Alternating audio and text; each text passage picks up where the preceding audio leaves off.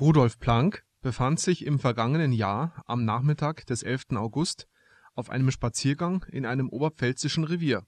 Zu dieser Jahreszeit ist in dieser Region die Rebbrunft auf ihrem Höhepunkt. Planck war noch nicht allzu lange unterwegs, als er aus größerer Distanz auf zwei mehrjährige Rehböcke aufmerksam wurde.